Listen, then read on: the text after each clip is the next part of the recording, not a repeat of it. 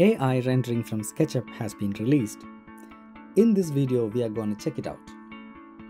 The new feature is called Diffusion, where you can download it directly from the extension warehouse.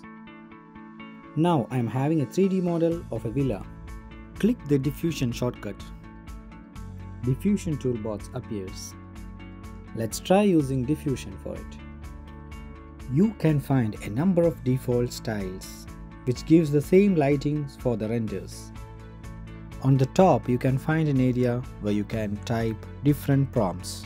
In the prompt you can describe about the output style what you need. So say that I want just to be a modern villa evening.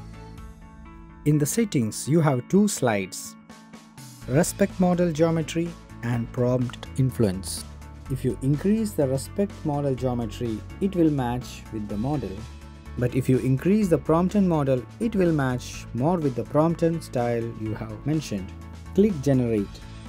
Yes, now you can see a lot of AI generated options. You can choose one and we can save it.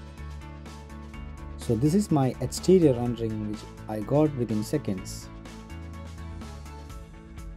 Now let's see an interior shot. So we are gonna do the same thing that is the diffusion window.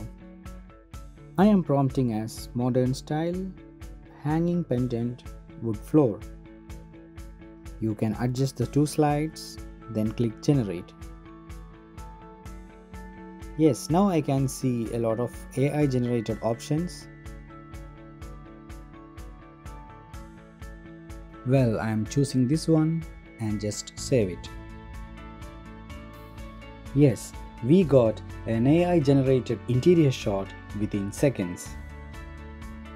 So these are the two AI generated exterior and interior images.